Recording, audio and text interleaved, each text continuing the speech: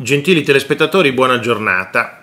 Anche i giornali di destra sperano in una privatizzazione della RAI, cioè piacerebbe a tutti una RAI privatizzata, piacerebbe a tutti un salario minimo, però al governo oggi salario minimo e RAI questi temi diventano problematici perché nella coalizione di centrodestra c'è una famiglia di grandi imprenditori e in questa famiglia di grandi imprenditori ovviamente il salario minimo non è visto di buon occhio. La privatizzazione della RAI darebbe un serio problema di fatturato a Mediaset quindi oggi eh, la Meloni si trova di fronte, anzi si trova con degli alleati, con degli alleati che, che non sono proprio sulla stessa linea. E certo, se all'interno del tuo governo c'è un partito, un partito che i proprietari sono una delle famiglie eh, più potenti italiane sotto l'aspetto economico, alcune cose non le puoi fare, o meglio, puoi provare a farle, poi bisogna vedere se il governo va avanti, è chiaro, no? La Meloni scrive il giornale, al rientro troverà il rebus Rai e il terzo polo che perde pezzi.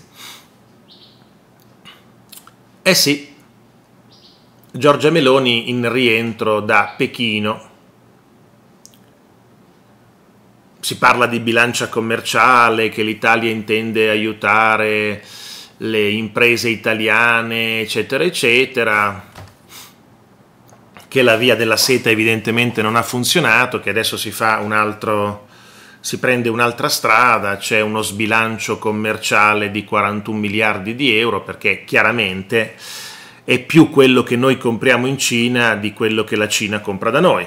Eh, è ovvio, no? Non potrebbe essere diversamente.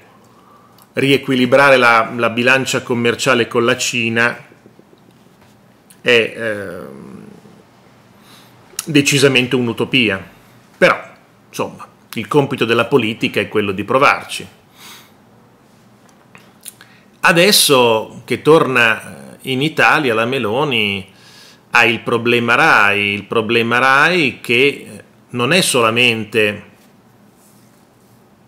la privatizzazione che è venuta fuori, lei poi ha detto io su questo non ho nulla da dire, anche perché non so da dove vengano queste indiscrezioni, come dire io non ho mai pensato a privatizzare la RAI, era Salvini praticamente che aveva tirato fuori questa cosa di togliere il tetto alle pubblicità per cancellare il canone e subito era arrivato l'altolà di Tajani. Beh, l'autonomia non è che sia proprio un dogma, come dire, non toccare la RAI, perché toccando la RAI tocchi Mediaset, non toccare la RAI perché l'autonomia che tanto ci tieni non è propriamente così necessaria. Avete capito il messaggio?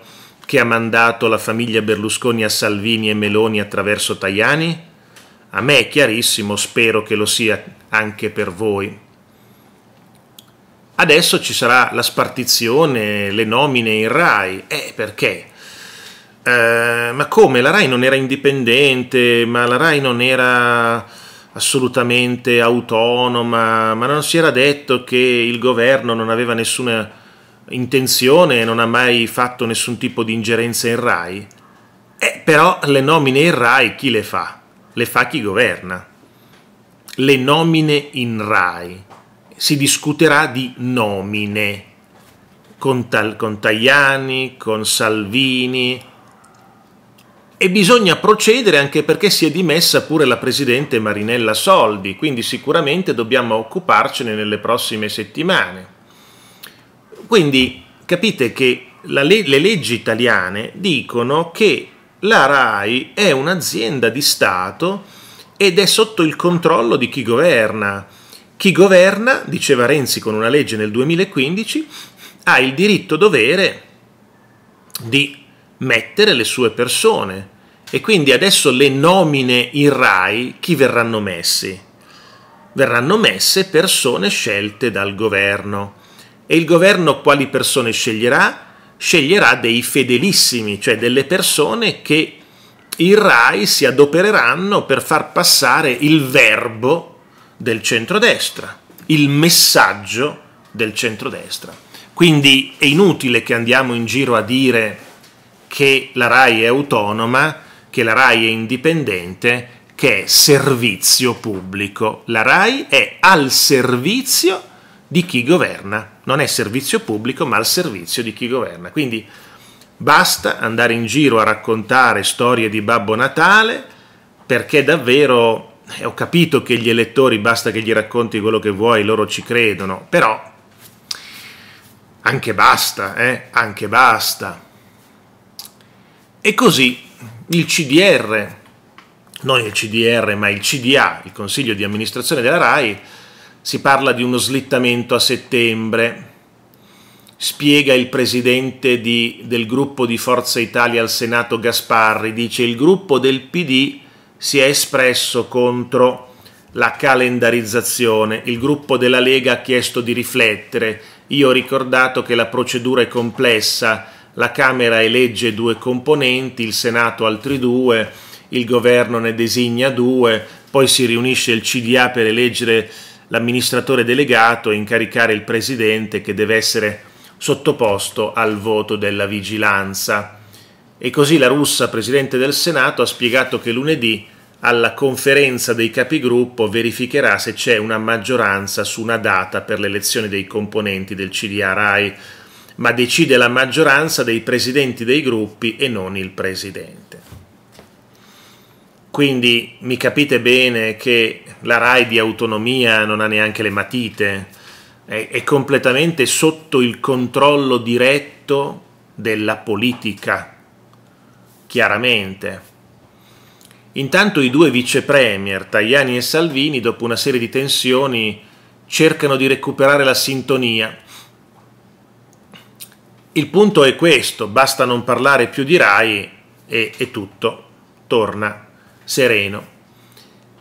Dentro Forza Italia si guarda il disfacimento del terzo polo che può portare nuove entrate e consensi di moderati. In Italia Viva Luigi Marattin contesta la svolta a sinistra di Matteo Renzi. In azione Raffaele Costa si è dimesso da vice segretario e sembra sempre più lontano da Carlo Calenda. Costa potrebbe rientrare tra gli azzurri, ma non ora come Maria Stella Gelmini, mentre con Nike Gruppioni, sempre di azione, la trattativa sembrava conclusa, ma si è fermata. C'è un fuggi-fuggi da Forza Italia, da, da, da Italia Viva? A Renzi, non gliene può fregare di meno, a lui interessa eh, il suo lavoro come politico, salvaguardarlo. Arrivederci a tutti e grazie.